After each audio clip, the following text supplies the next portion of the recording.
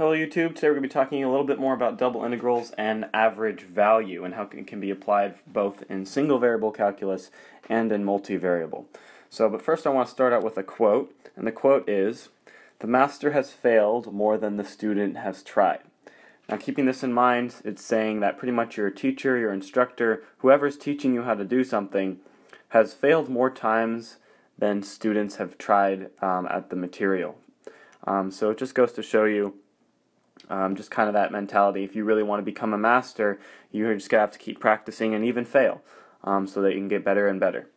Alright, so let's move on. So we're going to talk a little bit about integrals and Riemann sums for area, just kind of like the basic stuff. So if you have the area, or the integral from a to b of f of t dt, um, the formula for Riemann sums is the limit as n approaches infinity, um, and pretty much you're just going to be adding up um, an infinite number of rectangles. That's what the n approaches infinity, an infinite number of rectangles. Um, and there's that formula for the change in t. So I did a right Riemann sum, so this would be an overestimate. Notice how the rectangles go above the graph here. Um, but if you um, you could use three rectangles or something to approximate this integral. You'd have an over approximation if it's a right Riemann sum. You can have as many as I show here um, which is 4, 5, 6, 7, 8, 9 um, rectangles. You could approximate it as well. It'd still be closer than 3 or 4. Um, but if you have infinite, you would get the pretty much exact area under that curve. Um, remember, you're doing, you're adding up an infinite number of things or rectangles. Um, so now, what we do for volume, what are Riemann sums in terms of volume? Well, now we're going to be using double integrals um, for the same thing here. don't get like freak out, you know, like it's the same thing. It's saying the same thing. The limit as n or m and n approach infinity. So that means we're not dealing with just squares or rectangles anymore. We're dealing with cubes or rectangular prisms. Um, so that's what we're going to be adding up, not uh, rectangles, but rather rectangular prisms. So I'm going to try to draw it as best as I can here.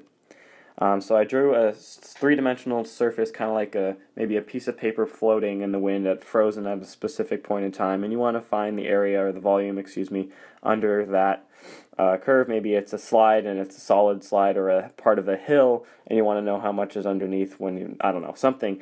But notice how I drew that um, red rectangular prism there. You'd be adding up an infinite number of those um, to calculate the volume. So the same concepts apply really from single variable calculus. So if you really have a good foundation on that, then multivariable, um, especially when we get to vector calculus portions, it's going to be so much easier for you if you really understand your basics. So now let's move over here um, talking about areas as double integrals. So I'm going to pose a question to you. Very simple. You have a, uh, excuse me, a rectangle here. What's the formula for that? Uh, that's area equals a times b um, just kind of, you know, your formula length times width. Um, also, if I had a fixed uh, three-dimensional object with a volume, or excuse me, with a height of 1, what would be the formula for volume? You'd do length times width times height, right? Or in this case, a times b times 1. Um, but numerically, mathematically, these are the same numerical value. A times B and A times B would have the same value. However, the difference only is in the units. This would be, say, in uh, on the area on the left could be in meters squared, and volume could be in meters cubed. Um, but the numerical value would be the same. Say it was uh, 3 times 2 would be 6. The volume would also be 6 here, but in different units. But mathematically, they have the same numerical value. So how does that apply here when we're dealing with three-dimensional objects? Well, if we had a fixed height um, of 1 as well for a three-dimensional object, um, the volume it's, we would be the double integral. So if area is a single integral, double integral would be volume. And it would be the same as the area um, for finding the area. And you can use a single integral to find the area, um, or you could use a double integral with a constant as uh, that um, portion there. So it's showing that the area and the volume are the same when you have a fixed height of 1. So now let's do a little bit of other cool basic stuff that I thought was cool and how it relates to geometry. So you have a triangle here, um, and let's label the sides. So you have B and H. So what would be the equation of the line for the hypotenuse of this triangle? It's not going to be like y equals x, but it's going to have a constant in front of it. What's that constant? Depends on the slope. So it's um, h over bx, rise over run x. Kind of that's what slope is, right? Um, so there's your equation in terms of variables of that line. And you know the traditional formula for a triangle, area of a triangle is half the base times the height. So in terms of calculus, um, you can evaluate it like this using the area. You can uh, determine the limits of integration. You would be starting from 0, which is the far left or the origin, um, by the y-axis, excuse me, the x-axis, so x equals 0 all the way to x equals b, the end of it. And then you would do from the low, so y equals 0 all the way to the top up there, which is h over bx, so that would be the equation for y equals. Um, and you can evaluate that integral um, simply using the fundamental theorem of calculus, h over bx minus 0, um, using that first part there. But you still have to separate or deal with that last portion of the integral. And then you evaluate that by doing um, capital or f of b minus f of a again fundamental theorem of calculus and you evaluate using those limits of integration. And check that out. You actually get half the base times the height. So you just kind of proved um, the area for a triangle using calculus. So that's pretty cool um, how you did that there I just thought it was kind of a cool thing to show um, so now let's talk about average value so we call that average value if you're given this uh, function here in the area and you want to find the average value of this function on this closed interval.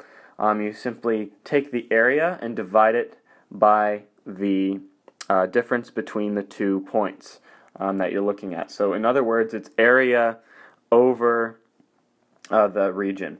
And you can also write this um, in terms of, because uh, just the basic integral of a to b dx would be the same thing as b minus a because using the fundamental theorem of calculus. So if we rewrite it like that, kind of have that in mind as we approach a three-dimensional problem now. So um, now we have this three-dimensional object. We want to find the average value for volume, and we have this formula as a result. So you have the double integral, um, which would be uh, the volume of this figure here over the double integral of the area of that region R down there in blue. Um, so that's kind of the same thing. So instead of being, it's very similar, just kind of relate it to regular for single variable calculus. So instead of being b minus a, like that region is just a closed interval, like uh, in a line, now the closed interval is an area. So that's in the denominator for both instead now. And the numerator, rather than being an area in single variable, it's going to be volume in multivariable. In other words, you're going to divide by the dimension that's one less than when finding the average value. So a three-dimensional object divided by a two-dimensional object is on the bottom of the formula here. In the first formula, we took a two-dimensional object divided by, by a single-dimensional um, area as well, or object I should say. So that's pretty much average value for you. This was kind of just conceptual stuff to get you guys thinking. I uh, hope it helped, and happy studying.